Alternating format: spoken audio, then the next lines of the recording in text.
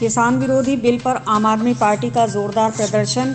आप पार्टी द्वारा किसान की लड़ाई लड़कर उनका हक दिलाने और किसान विरोधी बिल को वापस लेने को लेकर सरकार के खिलाफ जमकर की गई नारेबाजी। यूपी के फतेहपुर में किसान विरोधी बिल वापस किए जाने को लेकर आम आदमी पार्टी के जिला अध्यक्ष श्री राम पटेल के नेतृत्व में कार्यकर्ताओं ने प्रदर्शन कर चौधरी चरण सिंह की प्रतिमा पर माल्यार्पण करने नहर कॉलोनी जा रहे थे। तभी प्रदर्शन कर रहे पार्टी कार्यकर्ताओं को पुलिस ने रोककर हिरासत में ले लिया, जिसमें प्रदर्शन कर रहे लगभग दो दर्जन आप कार्यकर्ताओं को पुलिस द्वारा गिरफ़्तार कर रिज़र्व पुलिस लाइन ले जाया गया।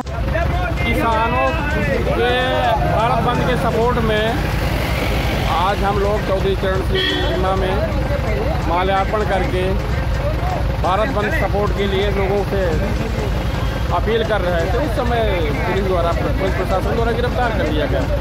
मैं आम आदमी पार्टी जिला अध्यक्ष श्री राम पटेल। हूँ